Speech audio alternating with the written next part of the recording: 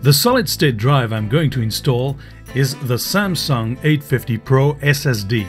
I'm installing it on an HP Z440 workstation, but it is basically the same process on any computer.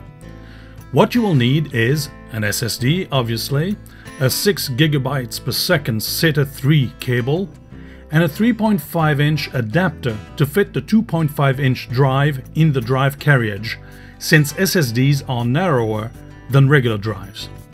The SATA cable plug has an L-shaped connector that fits into the corresponding connection on the drive. The other connector on the drive is for the power cable. In this case, there is a spare power cable in the computer. So the first thing we're going to do is attach the drive to the adapter. Align the four holes on the back of the drive with the holes on the adapter. Fasten the drive with the four screws that came with the adapter.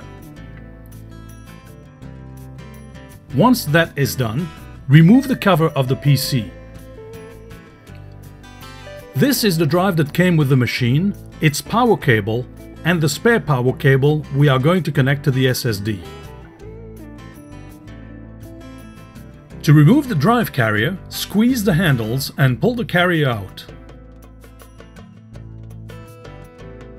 Place the drive on the carrier and align the pins with the screw holes of the adapter.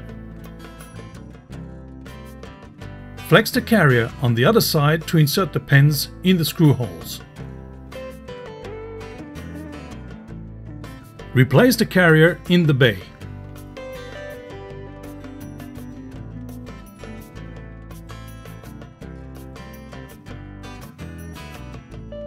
Connect the power cable and the SATA cable.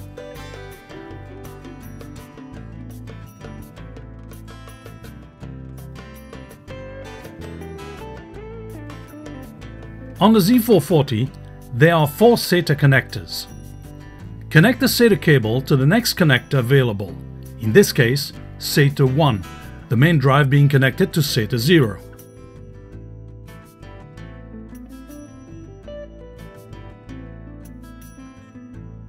If you are going to install your operating system on the SSD, you might want to switch the connections, making sure that the SSD is connected to SATA 0 and your existing drive on SATA 1.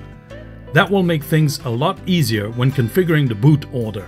Also, before installing the operating system on the SSD, disconnect all other drive or drives and reboot from a CD or USB drive with the operating system you want to install on the SSD.